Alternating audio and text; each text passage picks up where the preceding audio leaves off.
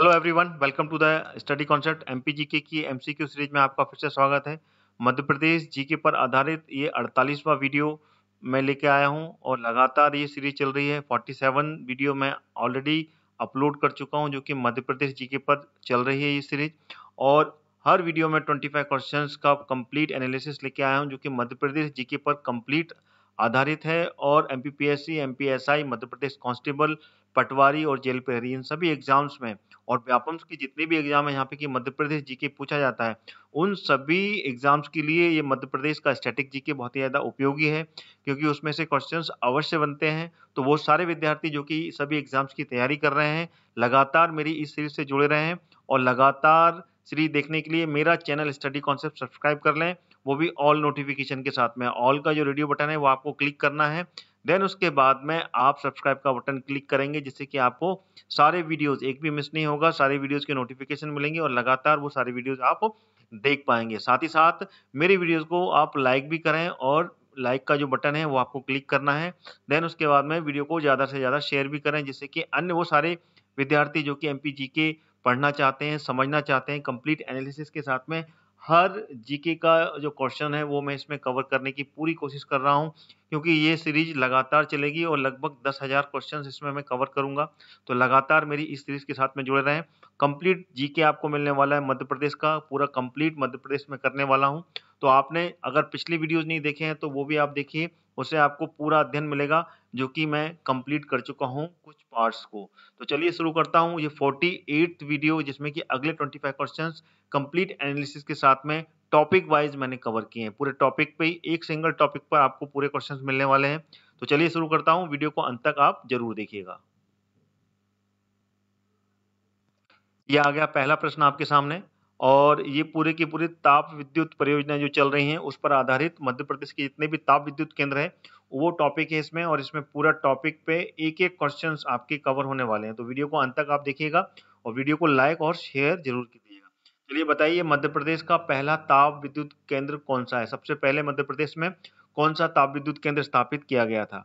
आ, चांदनी, बा, अमरकंटक, या फिर दा, विंध्याचल, या फिर सा, सतपुड़ा? तो इसका जो सही उत्तर है, वो कौन सा है? तो वो है आ। चांदनी ताप विद्युत केंद्र मध्य प्रदेश का सबसे पहला ताप विद्युत केंद्र है, जो कि 1953 में स्टेब्लिश किया गया था। और ये कहाँ पर किया गया था? ये किया गया था बुरहानपुर में। बुरहानपुर, जो कि मध्य प्रदेश के दक्षिणी जिला कहलाता है। बुरहानपुर के पास में नेपा नगर में, नेपा नगर में जो कागज़ का कारखाना स्थापित किया गया है, ठीक है ना, उसके लिए यहाँ पर कागज़ की मिल है यहाँ पर, और काफ़ी पुरानी है।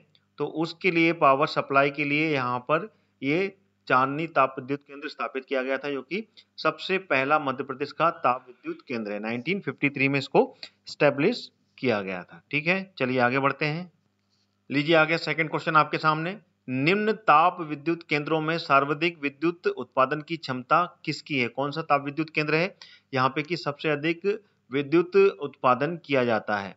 चांदनी, पेंच, अमरकंटक या फिर विंध्याचल। तो इसका सही जो आंसर है वो कौन सा है?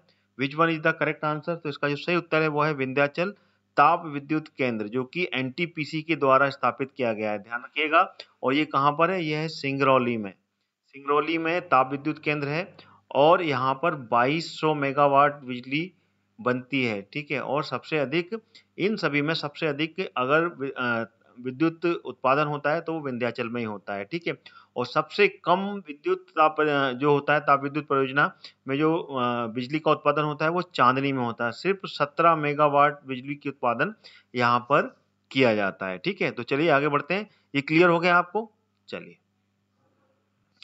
अगला प्रश्न आ गया, गांधी सागर जल विद्युत केंद्र कहाँ पर स्थित है? देखिए, गांधी सागर मतलब गांधी सागर के ऊपर होगा और गांधी सागर कहाँ है? बिल्कुल आप बता सकते हैं, अगर आप जानते हैं और गांधी सागर किस पे? चंबल नदी पर बना है ये। ठीक है, ये भी आपको क्लियर होना चाहिए। तो बताइए इसमें से कौन सा ऑप्शन सही है? आ, बा, सा या फिर दा? तो इसका सही विकल्प है वो कौन सा है? तो वो है मंदसौर। मंदसौर जो जिला है, वहाँ पर है ये गांधी सागर जल विद्युत केंद्र, और ये चंबल नदी पर बना है, और मध्य प्रदेश का सबसे पहला ये गांधी सागर बाँध यहाँ पर स्थापित किया गया था, और वहाँ पर ये जल विद्युत, ताप विद्युत केंद्र बना है, और जिस पर की टोटल 115 मेगावाट बिजली का उत्पादन किया जा रहा है। मंदसौर कहाँ है ये? किस किस संभाग के अंतर्गत आता है ये? तो ये आता है उज्जैन संभाग के अंतर्गत। ये आपको बिल्कुल पता होना चाहिए कि किस संभाग में कौन कौन से ज़िले आते हैं, ठीक है? क्लियर हो गया ये। और एक, ये चंबल नदी पर बना है, ये मैं आपको बता चुका हूँ। और चंबल नदी का उद्गम कहाँ से है? ये इंदौर की महू तहसील से जाना पावा की पहाड़ी से इसका उद्गम है। ठीक है? चलिए, आगे बढ़ते हैं। अगला प्रश्न आ गया। किस नदी पर विद्युत उत्पादन के लिए तीन बाँध बने हैं? और उसका पानी बैराज द्वारा राजस्थान और मध्य प्रदेश की सिंचाई के लिए उपयोग में लाया जाता है। बताइए, बेतवा पे बने हैं, सोन पर, चंबल पर या फिर ताप्ती नदी पर? तो इसका जो सही विकल्प है वो है चंबल। चंबल नदी पर तीन बाँध बनाकर यहाँ पर विद्युत उत्पादन किया जा रहा है। जल विद्युत जो उत्पादन है, वो चंबल नदी पर तीन बाँध बनाकर बना, किया जा रहा है। एक बाँध जो है, मैं आपको बता चुका हूँ, गांधी सागर, जो बाँध बनाया गया है मंदसौर में, वहाँ पर पहला बाँध बना है। उसके बाद में दो बाँध और बनाए गए हैं। एक राणा प्रताप सागर बाँध, ठीक है ना, यहाँ लिख रहा हूँ मैं। ये बिल्कुल याद होना चाहिए आपको, क्योंकि ये क्वेश्चंस बिल्कुल बनते हैं। राणा प्रताप सागर बाँध जो कि राजस्थान में बना है और तीसरा बाँध वो भी राजस्थान में है, जिसका नाम है जवाहर सागर बाँध। ठीक है, ये पूरे क्लियर होने चाहिए। ये तीन बाँध से विद्युत परियोजना संचालित की जा रही है और साथ साथ जो सिंचाई परियोजना है, उसका भी संचालन किया जा रहा है। ठीक है, जो कि राजस्थान और मध्य प्रदेश की संयुक्त परियोजना है, जो कि 50 50 परसेंट ठीक है ना 50 50 परसेंट का बिल्कुल इक्वल यहाँ पर शेयरिंग होती है। ठीक है? चलिए आगे बढ़ते हैं। अगला क्वेश्चन आ गया, सरदार सरोवर विद्युत उत्पादन। सरदार सरोवर जो बाँध है, उस पर जो विद्युत उत्पादन किया जा रहा है, वो उसमें मध्य प्रदेश का कितना हिस्सा है? देखिए, बहुत ही इंपॉर्टेंट है ये आपके लिए क्वेश्चन क्योंकि शेयरिंग बेसिस पे क्वेश्चन ज़रूर आते हैं एग्ज़ाम में। तो बताइए कौन सा है? आ, बा, सा या फिर दा? तो इसका जो सही विकल्प है, मध्य प्रदेश की जो शेयरिंग हिस्सा है उसमें, वो है 57 परसेंट मध्य प्रदेश की हिस्सेदारी सरदार सरोवर बाँध पर जो विद्युत परियोजना चल रही है, उसमें सबसे अधिक है। क्योंकि मध्य प्रदेश से ही ये सरदार सरोवर बाँध किस नदी पर बना है? सबसे पहले तो ये समझना है तो वो है नर्मदा नदी पर। और नर्मदा नदी का उद्गम कहाँ से हुआ है? मध्य प्रदेश से हुआ है। ठीक है? और सबसे ज़्यादा नर्मदा नदी कहाँ बहती है? वो बहती है मध्य प्रदेश में। इसलिए जहाँ पर सबसे ज़्यादा नदी का बहाव होता है, बहाव का क्षेत्र होता है तो सबसे ज़्यादा शेयरिंग उस ही राज्य को मिलती है। तो इसमें मध्य प्रदेश की शेयरिंग ज़्यादा है जैसे कि इसमें लिखा हुआ है 57 परसेंट जो शेयरिंग है वो मध्य प्रदेश की है। उसके बाद में फिर गुजरात और महाराष्ट्र को इसमें शेयरिंग मिलती है विद्युत परियोजना में। ध्यान रखिएगा, इसमें सिंचाई परियोजना में एक राज्य और शामिल है, वो है राजस्थान। राजस्थान को इससे जल, ठीक है ना, पानी मुहैया कराया जाता है सिंचाई के लिए। ठीक है ना? बाकी विद्युत परियोजना में सिर्फ़ तीनों राज्य हैं, मध्य प्रदेश, गुजरात और महाराष्ट्र। तो इसमें गुजरात की शेयरिंग कितनी है? वो भी समझ लीजिए तो वो है सत्ताईस प्रतिशत। गुजरात को जो बिजली बिजली उत्पादन में शेयरिंग मिलती है, वो सत्ताईस प्रतिशत मिलती है गुजरात को। ये आपको पता होना चाहिए। और बाकी का जो हिस्सा बचा, वो बचा कितना? सोलह प्रतिशत, जो कि महाराष्ट्र के हिस्से में आता है। ठीक है? तो इस तरीके से ये बिजली के उत्पादन की जो शेयरिंग है, वो डिवाइड है। 57 परसेंट जो है, वो मध्य प्रदेश को मिलती है 27 प्रतिशत गुजरात को मिलती है और 16 प्रतिशत जो है, वो महाराष्ट्र को मिलती है। ये नर्मदा नदी पर बना हुआ सबसे बड़ा और सबसे आखिर में, ठीक है ना, सबसे आखिर में ये नव गाँव जी याद रखना, ठीक है ना नव गाँव में ये गुजरात में, ठीक है ना, ये बाँध स्थापित किया गया है और इस सरदार सरोवर बाँध के पास में ही गुजरात में Statue of Unity, Sardar Vallabh Bhai Patel की जो प्रतिमा है, वो वो स्टैचू यहाँ पर निर्मित की गई है, जो कि वर्ल्ड की सबसे हाईएस्ट प्रतिमा है। ठीक है, सबसे ऊँची प्रतिमा यहाँ पर लगाई गई है इसी के पास में। जो ये क्लियर हो गया आपको? और इसमें राजस्थान को जल जल दिया जाता है, पानी दिया जाता है सिंचाई परियोजना के लिए सिर्फ़। ठीक है, चलिए आगे बढ़ते हैं। आगे जाने से पहले मैं आपको बताना चाहूँगा अन अकेडमी के बारे में। अगर आप एम और एमपी पुलिस की तैयारी कर रहे हैं तो अन अकेडमी आपके लिए लाया है फ्री टेस्ट आइए जानते हैं ये कौन कौन से टेस्ट हैं और आप इनको देकर अपनी तैयारी को कैसे मज़बूत कर सकते हैं। यह टेस्ट दे सकते हैं वो भी फ्री में। जो भी बच्चे एमपीपीएससी की तैयारी कर रहे हैं, उसके लिए अन अकेडमी लाया है चैंपियनशिप टेस्ट सीरीज़ यह टेस्ट सिर्फ़ आपकी तैयारी पूरी नहीं कराएगा, उसके साथ साथ मौका देगा अन का एक मंथ का फ्री सब्सक्रिप्शन जीतने का। बस आपको टॉप थ्री में आना है और किसी भी एग्ज़ाम को पास करना है। जो बच्चे एमपी पुलिस और एमपी एसआई की तैयारी कर रहे हैं, उनको भी निराश होने की ज़रूरत नहीं है। आपके लिए भी सिमिलर अपॉर्चुनिटी है। आज ही हिस्सा लीजिए और अपनी तैयारी को मज़बूत करें। पाए मौका अन के सब्सक्रिप्शन जीतने का। आइए अब जान लेते हैं अन के प्लस बेचेस के बारे में, जो आपकी ज़रूरत के हिसाब से बिल्कुल परफेक्ट हैं। जी हाँ। अब अन के साथ अपने प्रिपरेशन की ज़रूरत के अनुसार बैच ज्वाइन कर सकते हैं और अपनी एम पी में सिलेक्शन पक्की कर सकते हैं। यह सारे बेचेस जल्द ही शुरू हो रहे हैं और अपनी प्रिपरेशन में आप जहाँ पर भी हैं वहाँ से आपको बहुत मदद करने वाले हैं।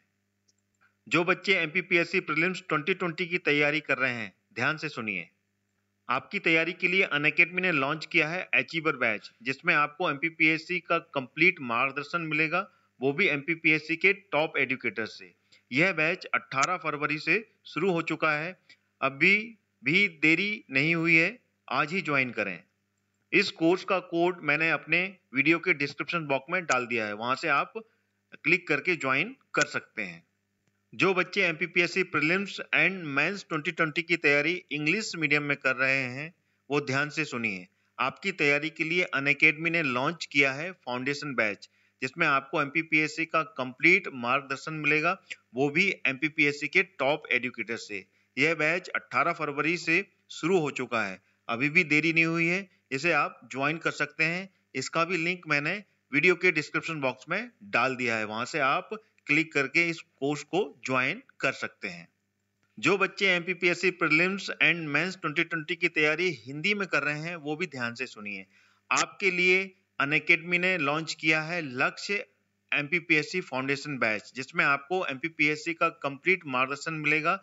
वो भी M P P S C के टॉप एडुकेटर से। ये बैच 19 फरवरी से शुरू हो चुका है।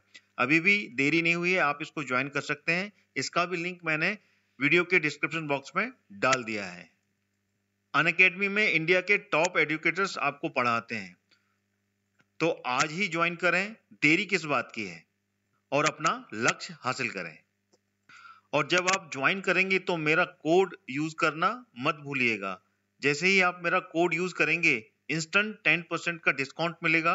मेरा रेफरल कोड है हरदयाल कुशवाहा, जो कि कैपिटल लेटर में लिखा हुआ है। तो जल्द ही इस ऑफ़र का फ़ायदा उठाइए।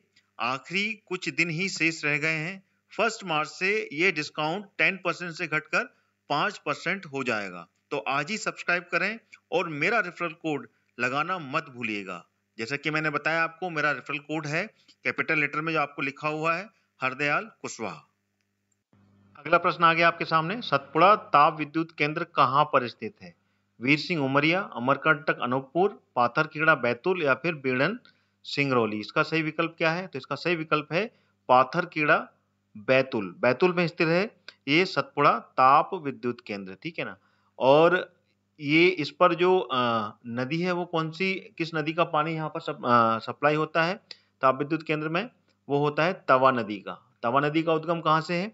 यह है महादेव श्रेणी से। याद रखिएगा महादेव श्रेणी जो कि सतपुड़ा श्रेणी की श्रेणी के अंतर्गत आती है, ठीक है? चलिए, और महादेव श्रेणी कहाँ पर है ये? ये पचमढ़ी, ठीक है ना? पचमढ़ी में स्थित है जो कि पचमढ़ी कहाँ है ये? होशंगाबाद में। चलिए, आगे बढ़ते हैं। अगला प्रश्न आ गया, मध्य प्रदेश में गैस आधारित पहला विद्युत ग्रह कहाँ स्थापित किया गया है? भांडेर, इंदौर, जग जमगोदरनी या फिर उमरिया। तो इसका जो सही विकल्प है वो कौन सा है? तो इसका सही विकल्प है भांडेर। भांडेर ये कहाँ पर है ये? ये भांडेर तहसील है, ये दतिया में है। ठीक है ना? वहाँ पर स्थित है ये गैस आधारित सबसे पहला विद्युत ग्रह, ठीक है? और दतिया किस संभाग में आता है? ये आता है ग्वालियर संभाग में। देखिए, संभाग बिल्कुल पता होना चाहिए आपको कि कौन सा जिला किस संभाग के अंतर्गत आता है। अगर आपको वो जानकारी नहीं है तो मेरा वो वीडियो जिसमें कि संभाग के ऊपर पूरी जानकारी दी है प्ले से जाकर आप देख सकते हैं जो कि मध्य प्रदेश जीके की जो पूरी प्लेलिस्ट है, उसमें आपको मिल जाएगा। चलिए आगे बढ़ते हैं। अगला प्रश्न आ गया, मध्य प्रदेश, वर्तमान में मध्य प्रदेश की जो ऊर्जा राजधानी है, वो किसको कहा जाता है? सीधी, सिंगरौली, अमरकंटक या कटनी? देखिए, सिंगरौली जो है, वो मध्य प्रदेश की ऊर्जा राजधानी कहलाती है। क्यों कहलाती है? क्योंकि जितने भी ताप विद्युत केंद्र है, सबसे अधिक ताप विद्युत केंद्र कहाँ स्थापित किए गए हैं? वो किए गए हैं सिंगरौली में। क्यों? क्योंकि वहाँ पर सबसे अधिक कोयला पाया जाता है। कोयले के कारण और वहाँ पर सबसे अधिक निजी और सरकारी ताप विद्युत केंद्र यहाँ पर स्थापित किए गए हैं। मध्य प्रदेश सरकार ने भी स्थापित किए हैं, साथ में केंद्र सरकार के भी हैं और निजी भी यहाँ पर स्थापित किए गए हैं। इस कारण से बहुत सारे ताप विद्युत केंद्र हैं। इस कारण से इसको मध्य प्रदेश की ऊर्जा की राजधानी इसको कहते हैं। और यहाँ पर बिट्यूमिनस कैटेगरी का, जो सेकंड कैटेगरी कहलाती है कोयले में, वो कोयला यहाँ पर पाया जाता है। और पूरी सिंगरौली में ढाई हज़ार, जैसे कि मैंने आपको पिछली वीडियो में भी कई बार बताया है, ढाई हज़ार स्क्वायर वर्ग किलोमीटर का जो क्षेत्र है, वहाँ पर कोयले का क्षेत्र कहलाता है यहाँ पर। ठीक है, यहाँ पे कोयला प्राप्त होता है। चलिए आगे बढ़ते हैं। सामने, अगला प्रश्न है आपके सामने। पूर्व में मध्य प्रदेश की ऊर्जा राजधानी वाला सीधी जिला के स्थान पर अब खिताब किसको मिल गया? देखिए, पिछले प्रश्न में मैं आपको बता चुका हूँ। एक्चुअली में पहले क्या सीधी में ही सिंगरौली आता था। सिंगरौली जो एक तहसील था सीधी ज़िले का। ठीक है ना? तो पहले ये खिताब सीधी ज़िले के पास में था, क्योंकि सीधी के क्षेत्र में ही सिंगरौली पड़ता था। लेकिन जब 2008 में 2008 में सिंगरौली को अलग कर दिया गया सीधी से और एक नया जिला बनाया तब से सिंगरौली ऊर्जा की राजधानी बन गया। पहले ये सीधी ज़िले के अंतर्गत ही था एक तहसील। ठीक है? क्लियर हो गया? चलिए आगे बढ़ते हैं। अगला प्रश्न आ गया। निम्नलिखित जल विद्युत केंद्रों तथा उनकी उत्पादन क्षमता के हिसाब से इनको सम्मिलित करना है कि कौन सा सही है और कौन सा गलत है। तो इसमें से कौन सा गलत है ये अपने को बताना है। तो इसमें से सही कौन से हैं और कौन सा गलत है इसमें? तो ये आपके सामने सारे विकल्प दिए हैं। इसमें से कौन सा विकल्प गलत है? बाण सागर जल विद्युत केंद्र, जिसका उत्पादन 435 है, या फिर महेश्वर जल विद्युत केंद्र, जिसका उत्पादन 450 मेगावाट है, या बर्गी जल उत्पादन जल विद्युत केंद्र इसका उत्पादन निन्यानवे मेगावाट है, या फिर राणा प्रताप जल विद्युत केंद्र, जिसका उत्पादन एक सौ बहत्तर मेगावाट है। तो इसका जो सही यानी कि जो गलत गलत जो है, वो बताना है इसमें से कौन सा है? तो देखिए, इसमें जो बर्गी है बर्गी का जो जल उत्पादन, जल विद्युत केंद्र है, इसका जो उत्पादन है, इसका उत्पादन है नब्बे मेगावाट, ना कि निन्यानवे मेगावाट। ये आपको क्लियर होना चाहिए, क्योंकि कितने मेगावाट का उत्पादन कौन सा विद्युत केंद्र कर रहा है, ये क्वेश्चन ज़रूर बनते हैं। तो इस कारण से ये जो ऑप्शन है, ये इसका गलत है, ये सही सम्मिलित नहीं है। तो इसका आंसर ये है, बाकी ये सारे के सारे ऑल दीज आर ट्रू ये सही है। यानी कि बाण सागर जल विद्युत केंद्र में 435 मेगावाट का उत्पादन होता है और ये बाण सागर कहाँ पर है ये? ये है शहडोल में। ये ज़रूर ध्यान रखना आपको। शहडोल में स्थित है बाण सागर और ये किस पे है? सोन नदी पर बनी हुई है ये। ठीक है ना? सोन घाटी परियोजना के अंतर्गत ये जल विद्युत केंद्र है और महेश्वर जल परियोजना ये किस पर है? ये नर्मदा नदी पर है जो कहाँ पर है? खरगोन में। और राणा प्रताप जल विद्युत केंद्र इसमें एक सौ बहत्तर मेगावाट की बिजली का उत्पादन किया रहा है और ये कहाँ पर है? ये राजस्थान में कोटा में है। और ये किस नदी पर है? ये चंबल नदी पर है। ठीक है ना? तो जितनी भी नदियाँ हैं, किस नदी पर कौन सी जल विद्युत योजना चल रही है, इसके बारे में जानकारी होना बहुत ज़रूरी है। और किस क्षेत्र में है? ये कोटा राजस्थान में स्थित है और चंबल नदी पर तीन परियोजना चल रही हैं, जो कि मैंने आपको पिछले प्रश्न में ही आपको बता दिया है। ठीक है? चलिए आगे बढ़ते हैं। अगला प्रश्न आ गया, रेहांद जल विद्युत परियोजना निम्न स्थान पर निर्मित है। कहाँ पर है? देवलोन, पीपरी, पुनासा या सिवनी? तो इसका जो सही विकल्प है वो कौन सा है? Which one is the correct answer देखिए, वो है पीपरी। पीपरी में में स्थित है ये, और पीपरी कहाँ पर है ये? ये पीपरी जो है मध्य प्रदेश और उत्तर प्रदेश के बिल्कुल बॉर्डर पर लगा हुआ है ये, और ये मध्य प्रदेश और उत्तर प्रदेश की संयुक्त परियोजना है। ध्यान रखिएगा, जो पीपरी है, ये यहाँ पर जो जल विद्युत परियोजना चल रही है रिहांद पर, और रिहांद एक नदी है, ठीक है ना, वहाँ पर बनाई गई है और ये एमपी और यूपी की ये संयुक्त परियोजना है। ठीक है? क्लियर हो गया आपको? चलिए, और ये देवलोन क्या है? देवलोन पर, यहाँ पर बाण सागर जो जल विद्युत परियोजना है, वो संचालित हो रही है सोन नदी पर। ठीक है ना? पुनासा कहाँ पर है ये? पुनासा, ये इंदिरा सागर बाँध जो है, वो पुनासा गाँव में ही स्थित है, इसलिए उसको पुनासा जल विद्युत परियोजना भी जानते हैं उसको। साथ में ये सिवनी में जो जल विद्युत परियोजना चल रही है, वो चल रही है पैच पैच जल विद्युत परियोजना संचालित की जाती है जो कहाँ पर है? सिवनी में पेंच नदी पर। ठीक है चलिए आगे बढ़ते हैं। अगला प्रश्न आ गया ओमकारेश्वर जल विद्युत केंद्र में विद्युत उत्पादन की क्षमता कितनी है? 320, 435, 520 या फिर 1000 मेगावाट? तो कितना मेगावाट का उत्पादन कर रहा है ओमकारेश्वर ये कर रहा है 520 मेगावाट जल विद्युत उत्पादन कर रहा है ये। ठीक है, ये क्लियर होना चाहिए। और ओमकारेश्वर कहाँ पर है ये? ये है खंडवा में। मैं आपको बता चुका हूँ, ये खंडवा में कहाँ पर है ये? पुनासा में। ठीक है ना? ये क्लियर होना चाहिए आपको। One of the very important fact ये बिल्कुल सही क्लियर होना चाहिए ये। ठीक है ना? This is the correct answer Punasa अलग है एक्चुअली ओमकारेश्वर अलग है और पुनासा अलग है। पुनासा में जो है वो इंदिरा सागर जल विद्युत केंद्र है। तो इसको थोड़ा सा आप फैक्ट को अलग रखिएगा। ओमकारेश्वर जल विद्युत केंद्र में 520 मेगावाट और पुनासा वाला जो इंदिरा सागर जल विद्युत केंद्र है, वहाँ पर 1000 मेगावाट का विद्युत उत्पादन किया जा रहा है। ठीक है ना? ये पुनासा है और ये ओमकारेश्वर है और दोनों ही ये खंडवा में ही स्थित हैं। क्लियर हो गया? चलिए, आगे बढ़ते हैं। अगला प्रश्न आ गया, मध्य प्रदेश का जो पहला पवन ऊर्जा संयंत्र, ये कहाँ लगाया गया था? जदूखेड़ा, जमगोदरनी, बैतूल या फिर शाजापुर तो इसमें जो जमगोदरनी है, यहाँ पे मध्य प्रदेश का सबसे पहला पवन ऊर्जा संयंत्र लगाया गया था। और ये कहाँ पर है ये? ये देवास, जो देवास जिला है, वहाँ पर स्थित है। और देवास किसके अंतर्गत आता है?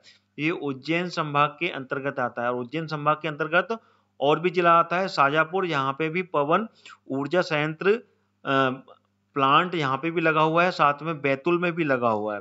ध्यान रहे, इन सभी जगह पर पवन जो ऊर्जा प्लांट क्षेत्र है, ये दोनों ज़िले भी उसके अंतर्गत आते हैं, ठीक है? चलिए आगे बढ़ते हैं। अगला प्रश्न आ गया, निम्न परियोजना निजी क्षेत्र को सौंपी गई यानी कि प्राइवेट है वो परियोजना तो कौन सी है? महेश्वर है ओमकारेश्वर है, अमरकंटक या इनमें से कोई नहीं?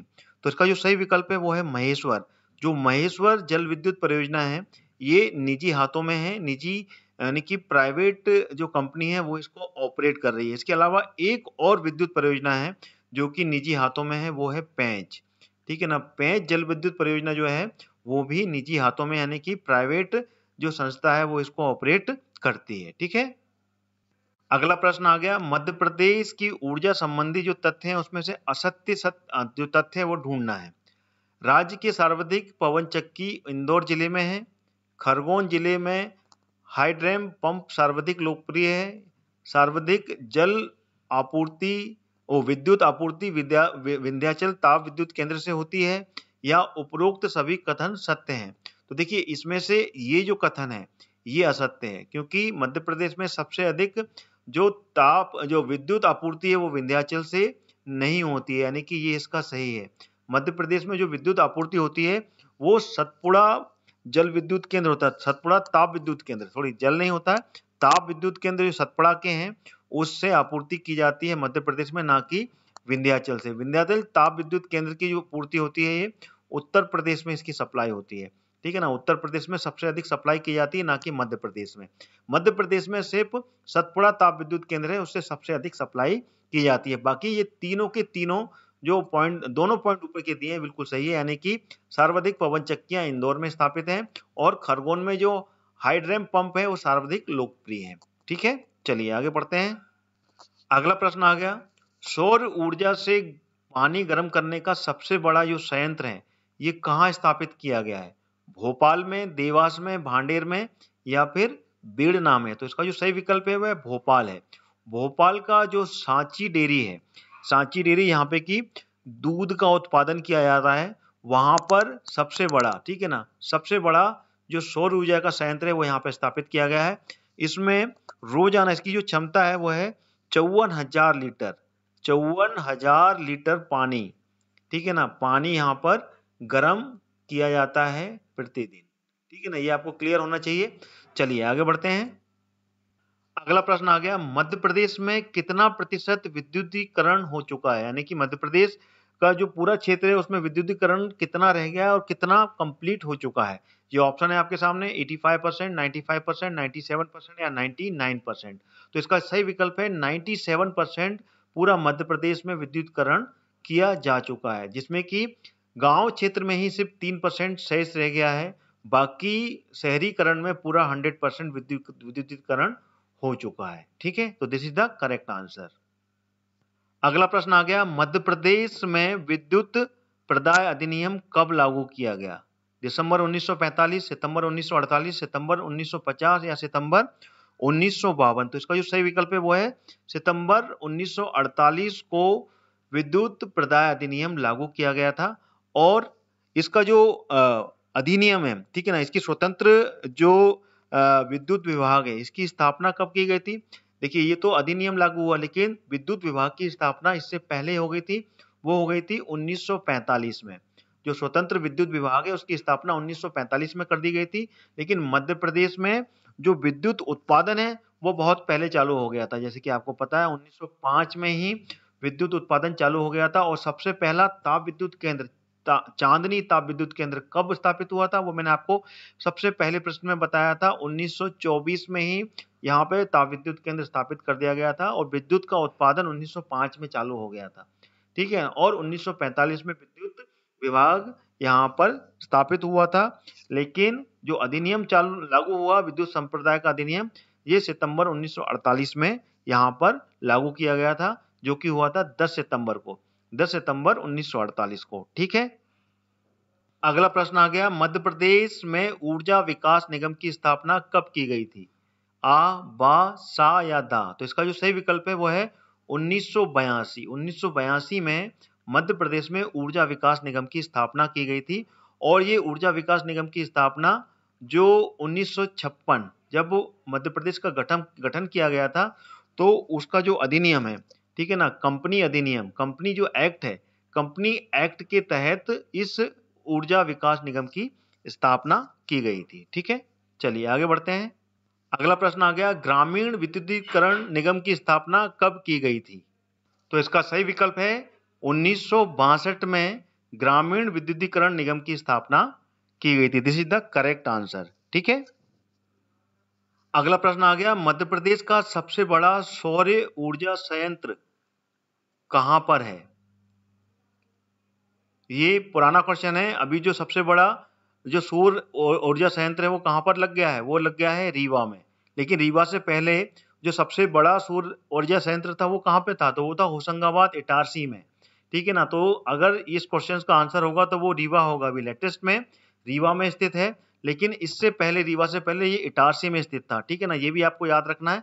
लेकिन अभी लेटेस्ट में, अभी मोदी जी ने इसका उद्घाटन किया है सौर ऊर्जा संयंत्र का, जो कि विश्व का सबसे विश्व का, भारत का सबसे बड़ा, कह सकते हैं, विश्व का नहीं है, भारत का सबसे बड़ा सौर ऊर्जा संयंत्र है, जो कि रीवा में स्थापित किया गया है, ठीक है?